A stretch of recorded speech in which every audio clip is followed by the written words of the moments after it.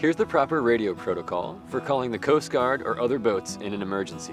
Turn your VHF to channel 16, which is monitored by the Coast Guard. Repeat the word Mayday three times. Say, this is, then repeat the name of your vessel three times. If it's an unnamed kayak, use a visual description like red kayak. Repeat Mayday once more and the description of your kayak. Give your position. If you know your GPS coordinates, use those. The next best thing is a compass bearing and a distance to a well-known landmark such as a navigational aid or small island. If you don't have a compass or GPS, describe your position as accurately as you can.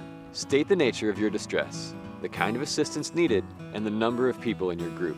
Add any other information which might facilitate rescue. Then say over. But if you can't remember exactly what to say, you can still call the Coast Guard. And remember, be smart, be safe, and have fun.